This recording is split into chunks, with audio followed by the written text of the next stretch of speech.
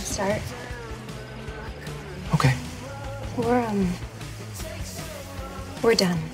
It's not that I think you're unfaithful. I just, I mean, leggy girls getting half the truth. I don't fit into this world. I can count the amount of special relationships I've had on half of one hand. Me too. Then why don't I feel special, Morgan?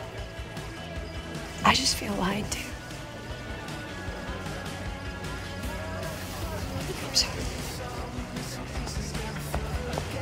No, hold on. Wait, wait, wait, wait, wait, wait, wait.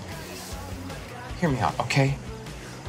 The reason I kept Carina a secret from you is because I didn't know how to handle you running into someone I'd had a, a relationship with. to be honest, there've been so few that it was damn near a statistical impossibility. I mean, I want you to know something, though.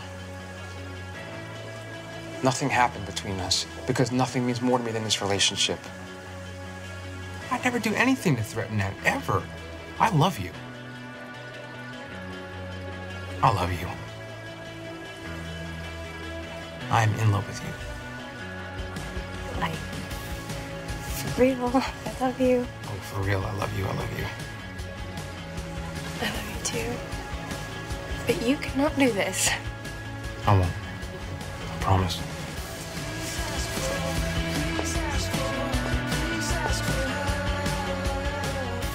I think I owe you an apology.